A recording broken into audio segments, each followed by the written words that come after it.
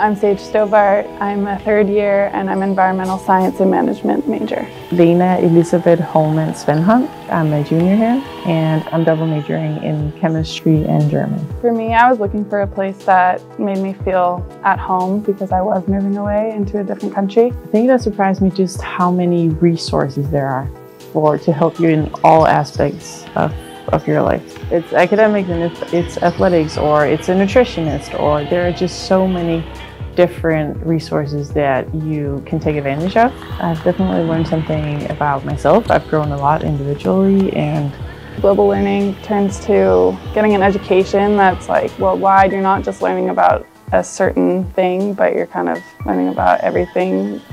Global learning, I think it's not only about learning in, in class, it's also about getting out into the world and learning about different cultures.